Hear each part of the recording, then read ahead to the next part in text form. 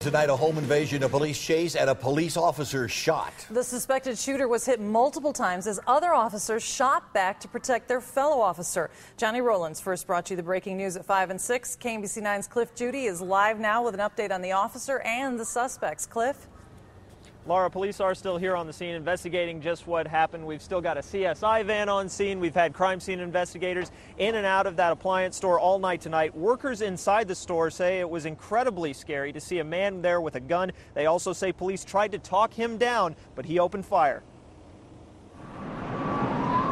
As a man walked in the front door of a KCK appliance store Thursday afternoon, the scene inside quickly turned to pure confusion. He's walking through, he stopped, looked up at me and laughed and just walked by. I thought he was a customer. Mike and Richard was kind of confused because one of them said that he has a gun. I was scared to death when he raised that gun up. I didn't know what was going to go on then. That just scared me to death. The man was running from these officers and would soon confront them. Police say it all started Wednesday afternoon with a home invasion at this house at 16th and Ridge.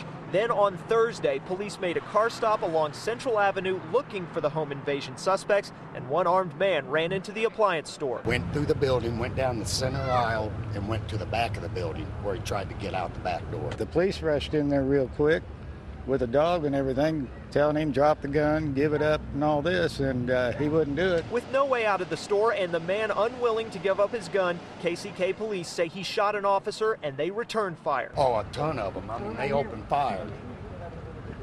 I couldn't count them. It, it just rapid fire. One officer got shot in the hand. Uh, they brought him out. Another officer stayed with him till the ambulance got there. With confrontation rising from confusion, police say they were fortunate with the conclusion. Now, obviously, there were other officers involved in this incident who fired on the suspect. They have now been put on administrative leave until this investigation is over, and that's pretty standard policy. Laura? All right, thank you, Cliff, for that. Then the officer who was shot is in stable condition. The suspect was taken to the hospital with critical injuries.